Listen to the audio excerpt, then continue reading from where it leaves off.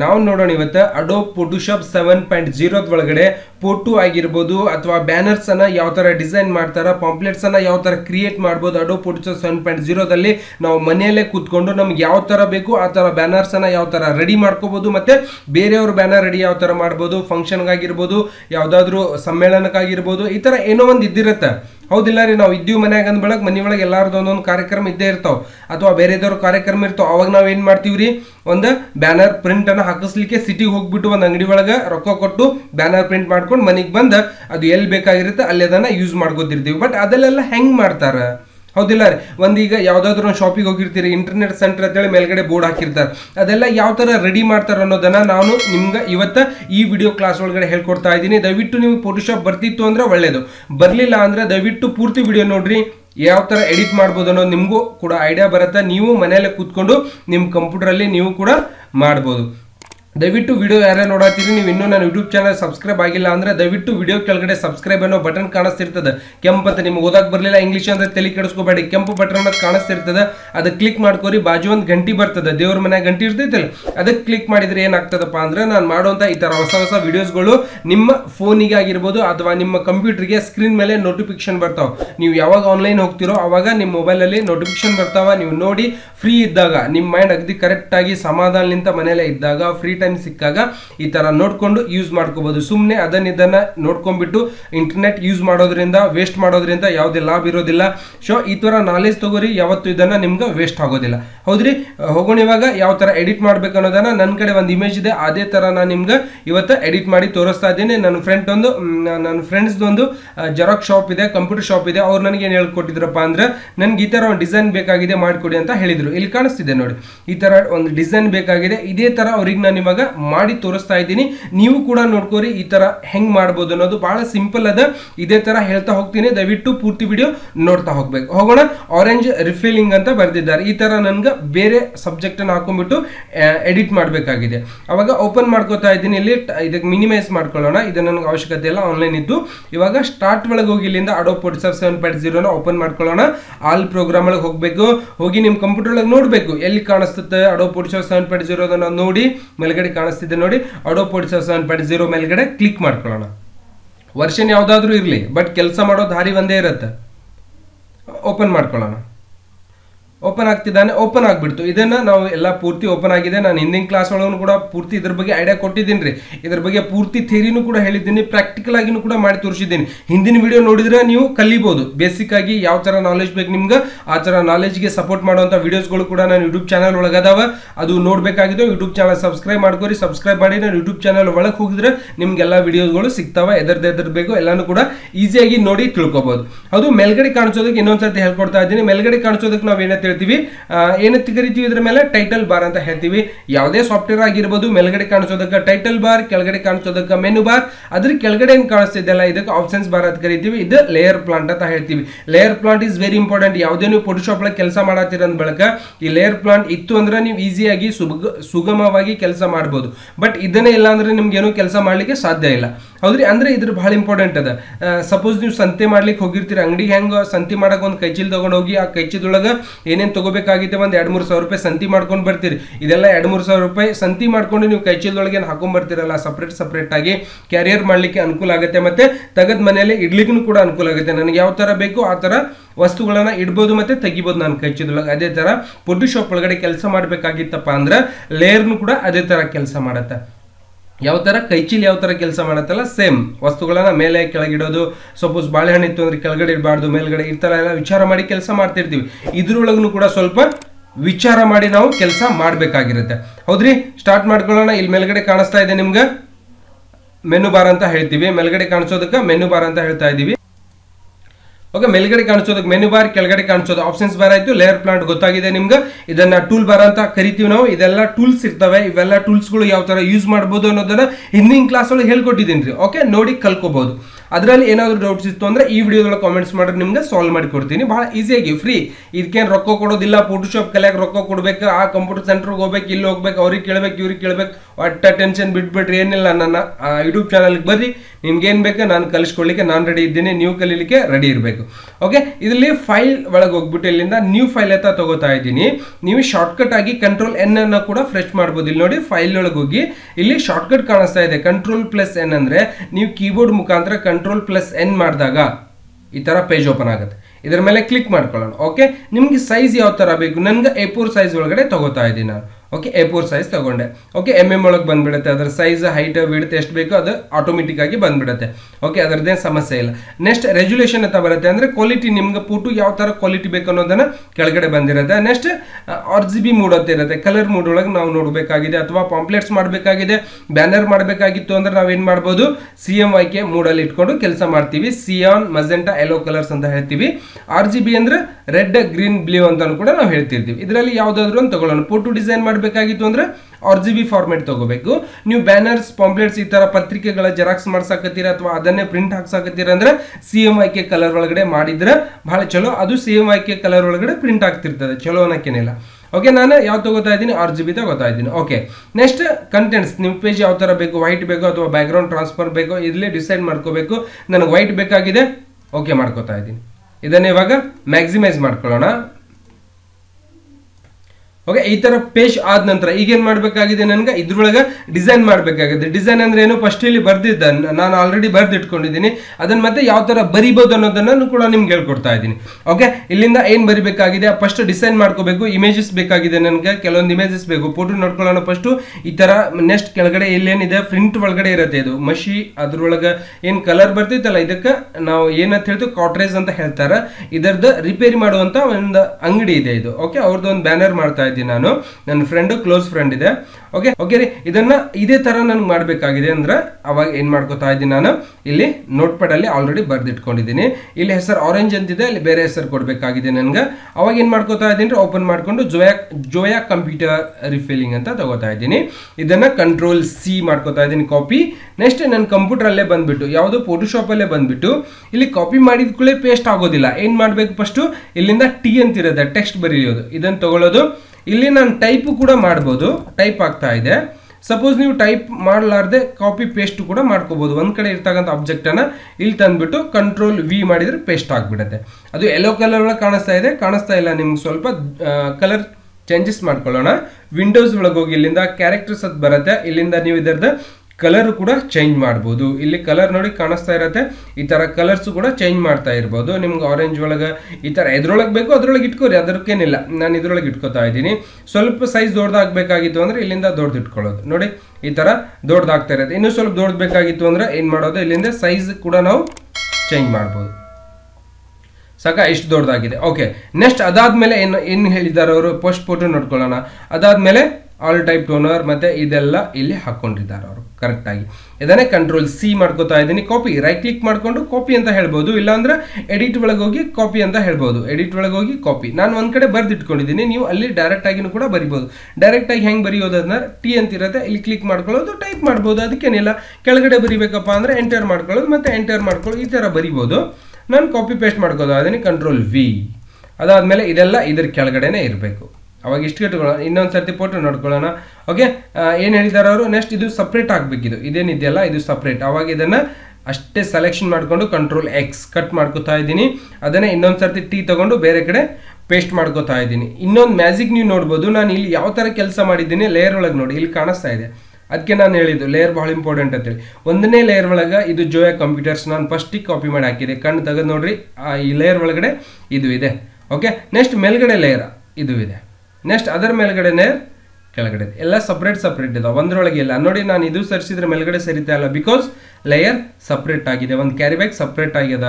Okay ನಿಮ್ಗೆ ಗೊತ್ತಾಗ್ತದೆ. ಮತ್ತೆ ಲೇಯರ್ ಅಂದ್ರೆ ಕನ್ಫ್ಯೂಸ್ ಆಗಬೇಡ್ರಿ. ಕ್ಯಾರಿ ಬ್ಯಾಗ್ ಇದ್ದಂಗೆ ಆ ಕ್ಯಾರಿ ಬ್ಯಾಗ್ ಒಳಗೆ ಆಟೋ ಕ್ಲೀನಿಂಗ್ ಮತ್ತೆ ಫೀಲಿಂಗ್ ಅಂತ ಇದೆ. ಈ ಥರ ನೋಡ್ಕೋಬಹುದು ನೆಕ್ಸ್ಟ್ ಇದನ್ನ ಸಪ್ರೇಟ್ ಆಗಿ ಇಟ್ಕೊಂಡು ಈ ಅಕ್ಷರ ಇನ್ನೂ ಸ್ವಲ್ಪ ಸಣ್ಣದು ಇಟ್ಕೊಳ್ಳೋಣ ಮೂವತ್ತಾರದ ಇದನ್ನ ಸ್ವಲ್ಪ ಥರ್ಟಿ ಇಟ್ಕೋತಾ ಇದ್ದೀನಿ ನಾನು.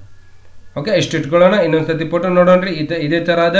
ನೆಕ್ಸ್ಟ್ ಅದಾದ್ಮೇಲೆ ಏನು ಮಾಡಬೇಕಾಗಿದೆ? ಇದಕ್ಕೊಂದು ಬ್ಲ್ಯಾಕ್ ಕಲರ್ ಕೊಟ್ಟಿದ್ದಾರೆ ಅವರು. ಇಲ್ಲಿ ಬ್ಲ್ಯಾಕ್ ಕಲರ್ ಕೊಡೋಣ.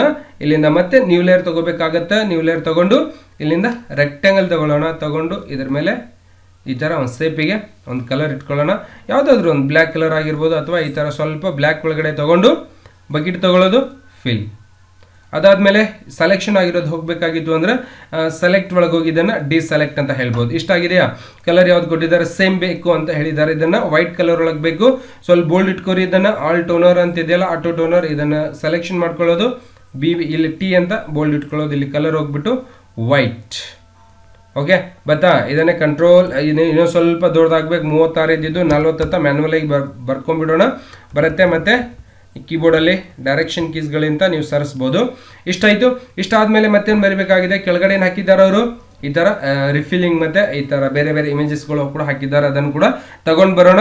ಫೈಲ್ ಒಳಗೆ ಹೋಗಿ ಇಲ್ಲಿಂದ ಓಪನ್ ಮಾಡ್ಕೋತಾ ಇದ್ದೀನಿ. ಫೋಟೋ ತಗೋಬೇಕಾಗಿದೆ. ನಾನು ಡೌನ್ಲೋಡ್ ಮಾಡಿ ಇಟ್ಕೊಂಡಿದ್ದೀನಿ. ಆಲ್ರೆಡಿ ಫೋಟೋ ಇದನ್ನು ಓಪನ್ ಮಾಡ್ಕೋತಾ ಇದ್ದೀನಿ. ಬತ್ತಾ? ಇದಕ್ಕೆ ನೋಡಿ ನಮ್ಮ ಪೇಜ್ ಬೇರೆ ಸಪ್ರೇಟ್ ಆಗಿ ಬರುತ್ತೆ. ನಾವು ಮಾಡಿರೋ ಪೇಜ್ ಬೇರೆ, ಮತ್ತೆ ಫೋಟೋ ತಗೊಂಡಿರೋ ಪೇಜ್ ಈ ಥರ ಸಪ್ರೇಟ್ ಆಗಿ ಬಂದಿರುತ್ತೆ. ಇದನ್ನು ಕಾಪಿ ಮಾಡಿಕೊಂಡು ಇದರ ಹಿಂದ್ಗಡೆ ವೈಟ್ ಕಲರ್ ಇರುತ್ತೆ. ಇದನ್ನು ನನಗೆ ಅಷ್ಟೇ ಬೇಕು. ಈ ಮಷಿ ಮಷಿನ್ ಏನಿದೆಯಲ್ಲ ಕಾಟ್ರೇಜ್ ಇಷ್ಟೇ ಬೇಕಾಗಿತ್ತು ಅಂದರೆ ನೀವು ಇಲ್ಲಿ ಮ್ಯಾಜಿಕ್ ವಿಂಟೋಲ್ ಅಂತ ಇರುತ್ತೆ. ಇದ್ರ ಮೇಲೆ ಕ್ಲಿಕ್ ಮಾಡ್ಕೊಳ್ಳೋದು. ಜಸ್ಟ್ ಒಂದು ಸಾರಿ ಕ್ಲಿಕ್ ಮಾಡ್ಕೊರಿ ಕ್ಲಿಕ್ ಆಗಿರುತ್ತೆ. ನೆಕ್ಸ್ಟ್ ಒಳಗಡೆ, ಹೊರಗಡೆ ಸೆಲೆಕ್ಷನ್ ಆಗಿದೆ. ನನಗೆ ಹೊರಗಡೆ ಬೇಕಿಲ್ಲ. ಇದು ಮಷಿನ್ ಅಷ್ಟೇ ಸೆಲೆಕ್ಷನ್ ಆಗಬೇಕಂದಾಗ ನೀವು ಸೆಲೆಕ್ಟ್ ಒಳಗೋಗಿ ಇನ್ನು ಇನ್ವರ್ಟ್ ಅಂತ ಹೇಳಬೇಕು. ಇಷ್ಟೇ ಸೆಲೆಕ್ಷನ್ ಆಗುತ್ತೆ. ಅದಾದಮೇಲೆ ಸೆಲೆಕ್ಷನ್ ಆಯಿತಾ? ಇಲ್ಲಿ ಸ್ವಲ್ಪ ಆಗಿದೆ ನೋಡಿ, ಅದನ್ನು ಡಿಸೆಲೆಕ್ಟ್ ಮಾಡ್ಕೊಳ್ಳೋಣ. ಇಲ್ಲಿಂದ ಡಿಸೆಲೆಕ್ಟ್ ಮೇಲೆ ಹೋಗ್ಬಿಟ್ಟು ಡಿಸೆಲೆಕ್ಟ್ ಮಾಡಿ ಇದಷ್ಟೇ ಅಬ್ಜೆಕ್ಟ್ ಸೆಲೆಕ್ಷನ್ ಆಗಿದೆ. ಅದಾದಮೇಲೆ ಮೂಟೂಲ್ ತಗೊಂಡು ಜಗ್ಗಿ ನಮ್ಮ ಪೇಜ್ ಮೇಲೆ ಇಟ್ಕೊಳ್ಳೋಣ. ಅದಾದಮೇಲೆ ಇದನ್ನು ಕ್ಲೋಸ್ ಮಾಡ್ಕೊಳ್ಳೋದು. ಇದರ ಕೆಲಸ ಮುಗೀತು. ಆಮೇಲೆ ಮ್ಯಾಕ್ಸಿಮೈಸ್ ಮಾಡಿಕೊಂಡು ಇದಕ್ಕೆ ಸ್ವಲ್ಪ ದೊಡ್ಡದಾಗಬೇಕಲ್ಲ ಸ್ಕ್ರೀನಿಗೆ ಪೂರ್ತಿ ಇಲ್ಲಿ ತನಕ ಬರಬೇಕು. ಆವಾಗ ಇಲ್ಲಿ ಆಟೋ ಅಥವಾ ಶೋ ಬೌಂಡಿಂಗ್ ಬಾಸ್ ಅಂತ ಹೇಳೋದು. ಸಿಫ್ಟ್ ಹಿಡೀರಿ, ಈ ಥರ ಡ್ರ್ಯಾಗ್ ಮಾಡ್ಕೊರಿ ಎಂಟರ್ ಬತ್ತಾ? ಕರೆಕ್ಟ್ ಆಯ್ತಾ? ಇಷ್ಟ ಆಯ್ತು. ಅದಾದಮೇಲೆ ಕೆ ಇಲ್ಲಿ ಕಾಣಿಸ್ತಾ ಇದೆ. ಆರೆಂಜ್ ರಿಫಿಲಿಂಗ್ ಅಂತ ಇದೆ. ಈ ಥರ ಎಲ್ಲ ನಾವು ನೋಡಿ ಇಲ್ಲಿಂದ ಕೆಳಗಡೆ ಮತ್ತೆ ಮಷಿ ಕಲರ್ ಹಾಕಿದ್ದಾರೆ ಮತ್ತೆ ಈ ಥರ ಕಾಟೇಜ್ ಡಬ್ಬಿ ಕೂಡ ಹಾಕಿದ್ದಾರೆ ಅದನ್ನು. ಅದೇ ಥರ ಸೇವ್ ಮಾಡಬೇಕಾಗಿದೆ ಮತ್ತೆ ವಾಪಸ್ ಫೈಲ್ ಒಳಗೆ ಹೋಗೋದು. ಫೈಲ್ ಒಳಗೆ ಹೋಗಿ ಇಲ್ಲಿಂದ ಓಪನ್ ಅಂತ ಹೇಳಬೇಕು. ಓಪನ್ ಅಂತ ಹೇಳಿಬಿಟ್ಟು ಇಲ್ಲಿ ಕೆಳಗಡೆ ಕಾಣಿಸ್ತಾ ಇರುತ್ತೆ. ಇಲ್ಲಿ ಇಲ್ಲಿ ನೋಡಿ, ಇದೊಂದು ಫೋಟೋ ಬೇಕು ನನಗೆ. ನೆಕ್ಸ್ಟ್ ಇನ್ನೊಂದು ಫೋಟೋ ಯಾವ್ದು ಬೇಕಾಗಿರುತ್ತೆ? ಇಲ್ಲಿದೆ ಅದನ್ನೇ ಫೋಟೋ ಓಪನ್ ಮಾಡ್ಕೊಳ್ಳೋಣ. ಓಕೆ ಒಂದ್ಸಾರಿ ಇದನ್ನೇ ಓಪನ್ ಮಾಡ್ಕೋತಾ ಇದ್ದೀನಿ. ಗೊತ್ತಾ ಇದನ್ನು ಕೂಡ ಸೇಮ್ ಆಗಲೇ ಹೋಗಿದ್ದೀರಿ, ನೀವು ಮ್ಯಾಜಿಕ್ ಇಂಟೂಲ್ ತಗೊಳ್ಳೋದು control shift I inverse selection ಮಾಡ್ಕೊಳ್ಳೋದು ಕಂಟ್ರೋಲ್ ಎಕ್ಸ್ ಇದನ್ನು ಕ್ಲೋಸ್ ಮಾಡಿಕೊಂಡು, ಅದಾದಮೇಲೆ ಇಲ್ಲಿ ಬಂದ್ಬಿಟ್ಟು ಕಂಟ್ರೋಲ್ ವಿ ಅಂತ ಮಾಡ್ಕೊಳ್ಳೋದು. ಇಲ್ಲಿ ಬತ್ತಾ? ನೆಕ್ಸ್ಟ್ ಇಷ್ಟೆಲ್ಲ ಆದಮೇಲೆ ಸ್ವಲ್ಪ ದೊಡ್ಡದು. ಅದಾದಮೇಲೆ ಕಲರ್ಸ್ ಬಾಟಲ್ಸನ್ನು ನಾನು ಡೌನ್ಲೋಡ್ ಮಾಡಿ ಇಟ್ಕೊಂಡಿದ್ದೆ. ಅದು ಇದೆಯೋ ಅಥವಾ ಇನ್ನೊಂದು ಸರ್ತಿ ಡೌನ್ಲೋಡ್ ಮಾಡ್ಕೊಳ್ಳೋಣ, ನೋಡೋಣ ಒಂದ್ಸಾರಿ. ಓಕೆ ಡೌನ್ಲೋಡ್ ಮಾಡ್ಕೊಂಡಿದ್ದೀನಿ. ಇವಾಗ ಇದನ್ನೇ ಈ ಫೋಟೋನ ಇಲ್ಲೇ ಡೌನ್ಲೋಡ್ ಮಾಡ್ಕೊಂಡಿದ್ದೀನಿ, ಇದನ್ನೇ ಓಪನ್ ಮಾಡ್ಕೋತಾವೆ ಓಕೆ ಇಷ್ಟೆಲ್ಲ ಓಪನ್ ಆಗ್ತಿದ್ದಾನೆ. ಸಪೋಸ್ ನೋಡ್ರಿ ಇನ್ನೊಂದು ಸರ್ತಿ ನೀವೆಲ್ಲ ಇಷ್ಟೆಲ್ಲ ಇಟ್ಕೊಂಡಿದ್ರಿ ಓಕೆ ಈಗ ನನ್ಗೆ ನೆಕ್ಸ್ಟ್ ಇಮೇಜ್ ಇಷ್ಟೆಲ್ಲ ಆದಮೇಲೆ ಇಷ್ಟೆಲ್ಲ ಆದಮೇಲೆ ಇದನ್ನು ಈ ಥರ ನಾವು ಇಟ್ಕೊಂಡಿದ್ದೀವಿ. ಮತ್ತು ಇಲ್ಲಿನೂ ಕೂಡ ಇಮೇಜ್ ಬಂದುಬಿಟ್ಟಿದೆ.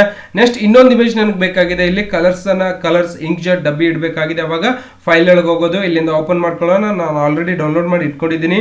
ಇದನ್ನೇ ಇಲ್ಲಿ ಕಲರ್ಸ್ ಇದ್ದಾವೆ ಇದನ್ನು ಓಪನ್ ಮಾಡ್ಕೊತಾ ಇದ್ದೀನಿ. ಇವಿಷ್ಟನ್ನು ಕೂಡ ಸೆಲೆಕ್ಷನ್ ಮಾಡ್ಕೊಳ್ಳೋದು. ಏನು ಸಿಂಪಲ್ ಅದ ಮ್ಯಾಜಿಕ್ ವಿಂಟೋಲ್ ತಗೊಳ್ಳೋದು ಸೆಲೆಕ್ಷನ್ ಮಾಡ್ಕೊಳ್ಳೋದು ಕಂಟ್ರೋಲ್ ಸಿಫ್ಟ್ ಐ ಅನ್ನೋದು.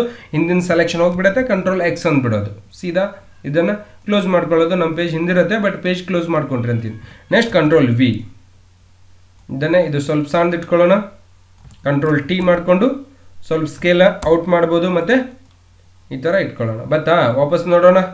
ನಮ್ಮದು ಫೋಟೋಸ್ ಒಳಗಡೆ ಯಾವ ಥರ ಇದೆ ಅದೇ ಥರ ನೋಡಿಕೊಂಡು ಕೆಲಸ ಮಾಡ್ಕೋಬೇಕಾಗಿರುತ್ತೆ, ಇದೇ ಥರ ಇದೆ. ನೆಕ್ಸ್ಟ್ ಓಪನ್ ಇದನ್ನು ಕೂಡ ಸ್ವಲ್ಪ ದೊಡ್ಡದಾಗಿರ್ಬೋದು ಅಥವಾ ಈ ಥರ ಇಟ್ಕೊಳ್ಳೋಣ. ಇನ್ನು ಸ್ವಲ್ಪ ಇದಕ್ಕೂ ಕೂಡ ದೊಡ್ಡದಾಗಿ ಮಾಡ್ಕೊಳ್ಳೋದು. ಸೇಮ್ ಎರಡು ಸೈಜ್ ಕೂಡ ಕರೆಕ್ಟಾಗಿ ಆಗಿರುತ್ತೆ. ಸ್ವಲ್ಪ ಈ ಕಡೆ ಸರ್ಚ್ ಬಿಡೋದು. ನಿಮ್ಮಲ್ಲಿ ಕೀಬೋರ್ಡ್ ಒಳಗೆ ಯಾವ ಥರ ಸರಿಸ್ತಾ ಇದ್ದೀರಿ ಅಂದರೆ ಡೈರೆಕ್ಷನ್ ಗೇಮ್ ಮಾಡ್ತಿರ್ತೀರಿ ಇಲ್ಲ ಕಂಪ್ಯೂಟರ್ ಒಳಗೆ, ಅಲ್ಲಿ ಬಟನ್ಸ್ ಇರ್ತಾವ ನಾಲ್ಕು ಅದನ್ನು ತೊಗೊಂಡು ನೀವು ಸರಿಸ್ಬೋದು ಮತ್ತು ಕೆಲಸನೂ ಕೂಡ ಮಾಡುತ್ತೆ. ಎರಡು ಥರ ಯೂಸ್ ಆಗುತ್ತೆ. ಓಕೆ ಇಷ್ಟೆಲ್ಲ ಇದು ಇದಾದಮೇಲೆ ಮತ್ತೇನು ಮಾಡಬೇಕು? ಇದಕ್ಕೆ ಸ್ವಲ್ಪ ಕೆಳಗೆ ತೊಗೊಳ್ಳೋಣ. ಸೈಜ್ ಯಾವ ಥರ ಇದೆ ನೋಡಿ, ಸ್ವಲ್ಪ ಕೆಳಗಡೆ ತೊಗೊಳ್ಳೋಣ ಇದಕ್ಕೆ. ಓಕೆ ಇಷ್ಟು ಇಷ್ಟು ಡಿಸ್ಟೆನ್ಸ್ ಇಟ್ಕೊಳ್ಳೋಣ. ಅದಾದಮೇಲೆ ಇದನ್ನು ಕೂಡ ಸೈಜ್ ಸ್ವಲ್ಪ ದೊಡ್ಡದಾಗಬೇಕು ಕ್ಲೀನಿಂಗ್ ಅಂತ ಇದೆಯಲ್ಲ, ಇದಕ್ಕೆ ಸ್ವಲ್ಪ ಈ ಥರ ಹಿಡಿದು ಈ ಥರ ದೊಡ್ಡ ಮಾಡ್ಕೊಳ್ಳೋಣ. ಸ್ವಲ್ಪ ಕೆಳಗಡೆ. ಓಕೆ ಇದನ್ನು ಕೂಡ ರೈಟ್ ಕ್ಲಿಕ್ ಮಾಡ್ಕೊಳ್ಳೋದು ಅದಲ್ಲಿ ಸೆಲೆಕ್ಷನ್ ಮಾಡ್ಕೊಳ್ಳೋದು ಈ ಥರ ಚೇಂಜಸ್ ಮಾಡ್ತಿರ್ಬೇಕು. ಭಾಳ ಈಸಿಯಾಗಿ ಆಗುತ್ತೆ. ಎಂಟರ್ ಮಾಡ್ಕೊಳ್ಳೋದು ಮತ್ತು ಸ್ವಲ್ಪ ಮೇಲ್ಗಡೆ. ಇದನ್ನು ಕೂಡ ಸ್ವಲ್ಪ ಮೇಲ್ಗಡೆ ತಗೊಳ್ಳೋಣ. ಇವನು ಕೂಡ ಸ್ವಲ್ಪ ಮೇಲೆ ಹೋಗಲಿ. ಏನು ತ್ರಾಸಾಗಲ್ಲ ನಿಮ್ಗೆ ಯಾವ ಥರ ಚೆಂದ ಕಾಣಿಸ್ತದ ಆ ಥರ ಎಡಿಟ್ ಮಾಡ್ಕೊರಿ. ಅವ್ರು ಇವ್ರು ಹೇಳಕತ್ತಾರ, ಹಿಂಗೆ ಮಾಡ್ಬೇಕು, ಹಂಗೆ ಮಾಡ್ಬೇಕಂತ ತಲೆ ಕೆಡಿಸ್ಕೋಬಾರ್ದು. ಹೆಂಗಾಗತ್ತೆ ಆ ಥರ ರೆಡಿ ಮಾಡ್ಕೊಂಡು ಬಿಟ್ಬಿಡೋದು. Okay next sorry control Z ಇಷ್ಟು ಇಟ್ಕೊಳ್ಳೋಣ. ಅದಾದಮೇಲೆ ಇದನ್ನು ಕೂಡ ಸ್ವಲ್ಪ ಕರೆಕ್ಟಾಗಿ ಇಟ್ಕೊಳ್ಳೋಣ ಇಷ್ಟು. ಓಕೆ ನೆಕ್ಸ್ಟ್ ಜೋಯ ಕಂಪ್ಯೂಟರ್ಸ್ ಸ್ವಲ್ಪ ಕೆಳಗಡೆ ಬರಲಿ. ನೆಕ್ಸ್ಟ್ ಇದು ಸ್ವಲ್ಪ ಹೈಟ್ ಒಳಗೆ ಜಾಸ್ತಿ ಆಗಲಿ. ಓಕೆ ಸ್ವಲ್ಪ ಈ ಕಡೆ. ನೆಕ್ಸ್ಟ್ ಯಾವ ಥರ ಇದೆ? ಇನ್ನೊಂದು ಸರ್ತಿ ಡಿಸೈನ್ ನೋಡ್ಕೊಳ್ಳೋಣ. ಏನಿಲ್ಲ ಸಿಂಪಲ್ ಕಲರ್ ಹಾಕಿದ್ದಾರೆ ಪೂರ್ತಿ. ವೈಟ್ ಒಳಗದ, ಇದನ್ನೇ ಸ್ವಲ್ಪ ಕಲರ್ ಕೊಟ್ಬಿಡೋದು. ಇದನ್ನೇ ಕಲರ್ ಕೊಡೋಣ. ಆರೆಂಜ್ ಕಲರ್ ಒಳಗೆ. ಯಾವ ಥರ ಕಲರ್ ಇಷ್ಟ ಆಗಿರುತ್ತೆ ಆ ಥರ ಕಲರ್ ಕೊಡ್ರಿ. ನಿಮ್ಮದೇ ಕಲರ್ ಇಷ್ಟ ಆಗಿತ್ತು ಅಂದ್ರೆ ನೀವು ಕೊಟ್ಟಿರೋ ಕಲರ್ ಓಕೆ ಬಟ್ ನೀವು ಕೊಟ್ಟಿರೋ ಕಲರ್ ಅವ್ರಿಗೆ ಸೆಲೆಕ್ಷನ್ ಆಗ್ತಾ ಇಲ್ಲ ಅಂದ್ರೆ ಅವ್ರದ್ದೇ ಯಾವ ಥರ ಕಲರ್ ಇದೆ ಆ ಥರ ಕಲರ್ ಕೊಟ್ಬಿಟ್ಟು ಕೆಲಸ ಮಾಡಿ ಕೊಡೋದಷ್ಟೇ. ಮತ್ತೇನು ಭಾಳ ದೊಡ್ಡ ಕೆಲಸ ಇಲ್ಲ ಇದರಲ್ಲಿ. ಓಕೆ ಭಾಳ ಸಿಂಪಲ್ ಅದ, ಏನು ಹಾಡಿಲ್ಲ. ಸಾಕಾ ಇಷ್ಟು? ಇಷ್ಟು ಇಷ್ಟು, ಇಷ್ಟೇ ಸಾಕು, ಮತ್ತೇನಿಲ್ಲ ಇದರಲ್ಲಿ. ಜಾಸ್ತಿ ಎಡಿಟ್ ಮಾಡಲಿಕ್ಕೆ ತಲೆ ಕೆಡಿಸ್ಕೋಬೇಡ್ರಿ. ಇಷ್ಟನ್ನೇ ಮಾಡ್ಕೊಳ್ಳೋದು. ಇದನ್ನೇ ಸ್ವಲ್ಪ ಸರಿ ಕಾಣಿಸ್ತಾ ಇಲ್ಲ ಯಾಕೋ, ಸ್ವಲ್ಪ ಈ ಥರ ಇಟ್ಕೊಳ್ಳೋಣ. ಓಕೆ ನೆಕ್ಸ್ಟ್ ಇದಕ್ಕೂ ಕೂಡ ಸ್ವಲ್ಪ ಮೇಲ್ಗಡೆ. ಸಾಕಾ, ಮತ್ತೆ ಇದರಲ್ಲಿ ಏನಾದರೂ ಚೇಂಜಸ್ ಇತ್ತು ಅಂದ್ರೂ ಕೂಡ ನೀವು ಚೇಂಜಸನ್ನು ಮಾಡ್ಬೋದು. ಮತ್ತು ಚೇಂಜಸ್ ಇಲ್ಲ ಅಂದ್ರೆ ಇಷ್ಟಕ್ಕೆ ಬಿಟ್ಟು ಡಿಸೈನ್ ಕೂಡ ಕಂಪ್ಲೀಟನ್ನು ಮಾಡ್ಬೋದು. ಓಕೆ ಇದಕ್ಕೆ ಸ್ವಲ್ಪ ಅಡ್ಜಸ್ಟ್ಮೆಂಟ್ ಮಾಡ್ಕೊಳ್ಳೋಣ. ಸ್ವಲ್ಪ ಸ್ವಲ್ಪ ಕೆಳಗೆ ಸರಿಸ್ಬೇಕಾಗತ್ತೆ. ಅಟ್ ಎ ಟೈಮ್ ಫೈನಲ್ ಅಂತೂ ಆಗೋದಿಲ್ಲ. ಸ್ವಲ್ಪ ಅಡ್ಜಸ್ಟ್ಮೆಂಟ್ ಕೂಡ ಇದ್ದಿರುತ್ತೆ. ಮಾಡ್ಕೋಬೇಕು. ಭಾಳ ಮೇಲಕ್ಕಾಗತ್ತೆ ಇಷ್ಟು ಇಟ್ಕೊಳ್ಳೋಣ. ಇದು ಇನ್ನೂ ಸ್ವಲ್ಪ ಮೇಲ್ಗಡೆ ಹೋಗಲಿ. ಸ್ವಲ್ಪ ಡಿಸ್ಟೆನ್ಸ್ ಇನ್ನೂ ಇದರದ್ದು ಸ್ವಲ್ಪ ಜಾಸ್ತಿ ಕಡಿಮೆ ಬೇಕಾಗಿತ್ತಪ್ಪ ಅಂದ್ರೆ ಇಲ್ಲಿಂದ ನೀವು ಆಟೋ ಡಿಸ್ಟೆನ್ಸನ್ನು ಇಟ್ಕೋಬೋದು. ನೋಡಿ, ಇಲ್ಲಿಂದ ಸ್ವಲ್ಪ ಜಾಸ್ತಿ ಕಡಿಮೆ ಅಥವಾ ಇನ್ನು ಸ್ವಲ್ಪ ಈ ಥರ ಇಟ್ಕೋಬೋದು. ಹ್ಞೂ ನಲ್ವತ್ತೆಂಟದ ನಲ್ವತ್ತೆರಡು ಇಟ್ಕೊಳ್ಳೋಣ. ಈ ಥರ ಇಟ್ಕೋಬೋದು. ಸಪೋಸ್ ಸ್ವಲ್ಪ ಸಮೀಪಾಗಿ ಅಥವಾ ಈ ಥರ ಕಂಟ್ರೋಲ್ ಜಟ್ ಇಟ್ಕೋಬೋದು. ಇನ್ನೂ ಸ್ವಲ್ಪ ಮೇಲ್ಗಡೆ. ಓಕೆ ನೆಕ್ಸ್ಟ್ ಇದು ಸ್ವಲ್ಪ ಮೇಲ್ಗಡೆ. ಸಾಕು. ಇಷ್ಟು ಇಟ್ಕೊಳ್ಳೋಣ. ಕರೆಕ್ಟ್ ಆಗಿದೆ. ಇದು ಇನ್ನೂ ಸ್ವಲ್ಪ ದೊಡ್ಡದು ಬೇಕು ಅಂದರೆ ಬಾಟಲ್ಸ್ ಕೂಡ ನೀವು ಈ ಥರ ದೊಡ್ಡ ಮಾಡ್ಕೋಬೋದು. ಆಗಿದೆಯಾ ಇದೇ ಥರ ಸಿಂಪಲ್ ಆಗಿ ಮಾಡಿಕೊಡ್ಬೇಕಾಗಿದೆ. ಇದೇನದ? ವೈಟ್ ಒಳಗದ. ಇದನ್ನೇ ಅವರಿಗೆ ನಾನು ಪ್ರಿಂಟ್ ಕೊಡಬೇಕಾಗಿದೆ. ಸ್ವಲ್ಪ ಸ್ಟ್ರೋಕ್ ಬಾರ್ಡರ್ ಕೂಡ ಹಾಕಬೇಕಾಗಿದೆ ಅಂದರೆ ಮತ್ತೆ ನ್ಯೂ ಲೇಯರ್ ತಗೊಂಡು ಏನು ಮಾಡ್ಬೋದು ನೀವು ಇಲ್ಲಿಂದ? ಸೆಲೆಕ್ಷನ್ ಇರುತ್ತೆ. ಇದನ್ನು ಪೂರ್ತಿ ಸೆಲೆಕ್ಷನ್ ಮಾಡ್ಕೋರಿ. ಸೆಲೆಕ್ಷನ್ ಮಾಡ್ತಿದ್ದಾನೆ. ಎಡಿಟ್ ಒಳಗೆ ಹೋಗೋದು. ಎಡಿಟ್ ಒಳಗೆ ಹೋಗಿ ಸ್ಟ್ರೋಕ್ ಅಂತ ಬರುತ್ತೆ. ಅದನ್ನು ಫೈವ್ ಇದೆ ಅಥವಾ ಹತ್ತು ಪರ್ಸೆಂಟೇಜ್ ನಾನು ಸ್ಟ್ರೋಕ್ ಕೊಟ್ಬಿಡ್ತಾ ಇದ್ದೀನಿ. ಓಕೆ ಇನ್ನೂ ಸ್ವಲ್ಪ ಜಾಸ್ತಿ ಕೊಡ್ಬೇಕು. ಕಾಣಿಸುತ್ತೆ? ಅವಾಗ ನಿಮ್ಗೆ ಇಷ್ಟೇ ಕಡಿಮೆ ಕೊಟ್ಟರೆ ಕಾಣಿಸೋದಿಲ್ಲ. ಟ್ವೆಂಟಿ ಪರ್ಸೆಂಟೇಜ್ ಕೊಟ್ಬಿಡ್ತೀನಿ. ಬತ್ತಾ? ಕಂಟ್ರೋಲ್ ಡಿ ಬಂದಿದೆ. ಕಾಣಿಸ್ತಾ ಇದೆ. ನೋಡ್ಬೋದು. ಈ ಥರ ಸ್ಟ್ರೋಕ್ನು ಕೂಡ ನಾವು ಹಾಕ್ಬಿಟ್ಟಿದ್ದೀವಿ. ಇದನ್ನೇ ಇಷ್ಟೆಲ್ಲ ಆದಮೇಲೆ ಮತ್ತೇನು ಮಾಡಬೇಕಾಗಿದೆ? ಇಷ್ಟೆಲ್ಲ ಅಂದರೂ ಕರೆಕ್ಟ್ ಆಯ್ತು. ಇದನ್ನೇ ಸೇವ್ ಮಾಡಬೇಕಾಗಿದೆ ಅಂದರೆ ಫೈಲ್ ಒಳಗೆ ಹೋಗೋದು ಇಲ್ಲಿಂದ ಸೇವ್ ಅಂತ ಸೇವ್ ಅಂತ ಹೇಳಿದರೆ ಮತ್ತೆ ನೀವು ಕಂಟಿನ್ಯೂ ಮಾಡ್ಬೋದು. ಅದು ಯಾರ್ದು ಹೆಸರಿದೆ ಅವ್ರ ಹೆಸರು ಮೇಲೆ ಸೇವ್ ಅಂತ ಇಟ್ಕೊಳ್ಳೋದು. ಅದಾದಮೇಲೆ ಸೇವ್ ಆ್ಯಜ್ ಅಂದಾಗ ನೀವು ಫೈನಲ್ ಇಟ್ಕೊಬೋದು. ಅಂದರೆ ಬೇರೆ ಹೆಸರ ಮೇಲೇನೂ ಕೂಡ ಎರಡು ಫೈಲ್ ಇಟ್ಕೊಂಡು ಕೆಲಸ ಮಾಡ್ಬೋದು. ಇದನ್ನೇ ಫೈನಲ್ ಆಗಿದೆ. ಜೆ ಪಿ ಸಿ ಇಟ್ಕೊಂಡು ನಾನು ಸೇವ್ ಮಾಡ್ಕೋತಾ ಇದ್ದೀನಿ. ಓಕೆ ಸೇವ್ ಆಗಿದೆಯಾ? ಇದನ್ನು ಕ್ಲೋಸ್ ಮಾಡ್ಕೊಂಡು ನೋಡೋಣ. ಸೇವ್ ಆಗಿದೆ ಇಲ್ಲ ನಮ್ಮ ಫೈಲ್ ಅನ್ನೋದನ್ನು ನಾವು ಸ್ಕ್ರೀನ್ ಮೇಲೆ ನೋಡ್ಬೋದು. ಎಲ್ಲಿ ಸೇವ್ ಆಗಿದೆ ನೋಡೋಣ್ರಿ ಒಂದ್ಸಾರಿ. ಇದನ್ನೇ ಓಪನ್ ಮಾಡ್ಕೊಳ್ಳೋಣ. ಈ ಥರ ನಾನು ಒಂದು ಸ್ಮೂತಾಗಿ ಮತ್ತು ಬಹಳ ಈಸಿಯಾಗಿ ಮಾಡೋ ಮೆಥಡನ್ನು ನಿಮ್ಗೆ ಹೇಳ್ಕೊಟ್ಟಿದ್ದೀನಿ. ನೋಡಿ, ಇಲ್ಲಿ ಸ್ವಲ್ಪ ಚೇಂಜಸ್ ಆಗಿದೆ. ಆಟೋ ಅಂತೇಳಿ ವಾಪಸ್ ಮತ್ತೆ ಅದಕ್ಕೋಸ್ಕರ ನಾನು ಅದನ್ನು ಇದು ಮಾಡಿದ್ದೆ. ಯಾಕಂದ್ರೆ ಸೇವ್ ಮಾಡಿರಲಿಲ್ಲ. ಸೇವ್ ಆಗಿ ಇಟ್ಕೊಂಡಿದ್ದೆ. ವಾಪಸ್ ಮತ್ತೆ ಎಡಿಟ್ ಮಾಡ್ಬೋದು. ಇದು ಶೋ ಗೊಂಡು ಬಾಕ್ಸ್ ತೆಗೀರಿ. ಅಂದರೆ ಸೆಲೆಕ್ಷನ್ ಆಗಿರೋದು ಹೋಗ್ಬಿಡುತ್ತೆ. ಇಷ್ಟ ಆಯ್ತಾ? ಓಕೆ ಎಲ್ಲ ಅದಕ್ಕಿದೆ ಇವಾಗ ಫೈನಲ್ ಸೇವ್ ಅದು ಕೊಟ್ಟು, ಆಮೇಲೆ ಸೇವ್ ಆಸ್ ತೊಗೊಂಡು ಜೆ ಪಿ ಜಿ ಇಟ್ಕೊಳ್ಳೋಣ. ಫೈಲ್ ಜೆ ಪಿ ಜಿ ಅಂತ ಇಟ್ಕೊಂಡು ಇದನ್ನೇ ಸೇವ್ ಅಂತ ಹೇಳ್ಬಿಡೋದು ಇವಾಗ. ಕರೆಕ್ಟಾಗಿ ಸೇವ್ ಆಗಿ ಬಿಟ್ಟಿರುತ್ತೆ. ನೋಡಿ ಓಪನ್ ಮಾಡ್ಕೊಳ್ಳೋಣ ಇನ್ನೊಂದು ಸರ್ತಿ ಓಪನ್ ಮಾಡಿಕೊಂಡು. ಇನ್ನೊಂದು ಸರ್ತಿ ಓಪನ್ ಮಾಡ್ಕೊಂಡು ನೋಡೋಣ. ಇವಾಗ ಕರೆಕ್ಟಾಗಿ ಮ್ಯಾಚ್ ಆಗ್ತಾ ಇದೆ. ಗೊತ್ತಾಗಿದೆಯಾ? ಇದರಲ್ಲಿ ಏನಾದರೂ ಕನ್ಫ್ಯೂಸ್ ಇತ್ತು ಅಂದ್ರೆ ಕಮೆಂಟ್ಸ್ ಮಾಡಿರಿ. ದಯವಿಟ್ಟು ಇನ್ನೂ ನೀವು ಯಾರ್ಯಾರು ವಿಡಿಯೋ ನೋಡತ್ತಿರಲ್ಲ ನನ್ನ ಯೂಟ್ಯೂಬ್ ಚಾನಲ್ ಸಬ್ಸ್ಕ್ರೈಬ್ ಆಗಿಲ್ಲ ಅಂದ್ರೆ ಮೊದಲೇ ಸಬ್ಸ್ಕ್ರೈಬ್ ಬಟನ್ ಒತ್ತಿರಿ ಸಬ್ಸ್ಕ್ರೈಬ್ ಆಗ್ರಿ. ಬಾಜು ಒಂದು ಬೆಲ್ ಐಕನ್ ಗಂಟಿಗೆ ಕಾಣಿಸ್ತದೆ, ಅದಕ್ಕೂ ಕ್ಲಿಕ್ ಮಾಡಿದರೆ ನಾನು ಈ ಥರ ಮಾಡುವಂಥ ಎಲ್ಲ ವೀಡಿಯೋಸ್ಗಳು ನಿಮ್ಗೆ ನೋಟಿಫಿಕೇಶನ್ ಬರ್ತಾವೆ, ನೀವು ನೋಡಿ ಫ್ರೀ ಇದ್ದಾಗ ಕಲಿಬೋದು. ಓಕೆ ಮತ್ತೆ ಸಿಗೋಣ ಬೇರೆ ವಿಡಿಯೋದೊಂದಿಗೆ ನಮಸ್ಕಾರ.